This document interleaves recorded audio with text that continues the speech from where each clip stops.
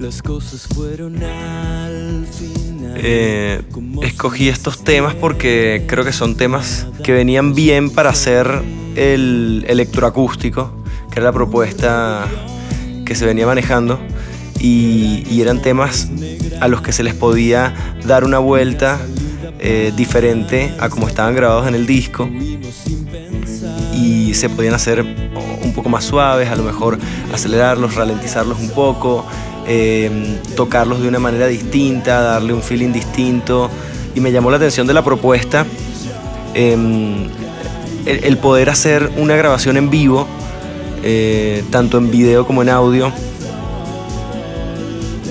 y hacerlo así, ¿no? Muy, muy cercano, porque eh, estamos dentro de un estudio y muy cerca cada uno de los músicos y eso es un feeling que no tienes cuando estás tocando en vivo en una tarima, lo tienes solamente dentro del estudio y cuando estás grabando en un estudio que estás grabando por pistas tampoco tienes ese feeling.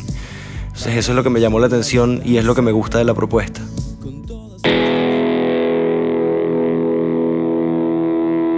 Tu amor es un tema, eh, es quizás el tema más oscuro del disco. Habla de, mm, de, de un amor tortuoso, digamos, de un amor eh, eh, problemático. Es una relación de amor-odio. Eh, escogí ese tema para empezar y, lo escogí porque la versión acústica de ese tema es muy diferente a la versión en vivo, a la versión eléctrica. Este, y bueno, es un tema que a mí me gusta muchísimo del disco. No es un tema para nada promocional, pero sin embargo es un tema que da muchísimo resultado con, con la gente, al público le gusta mucho también.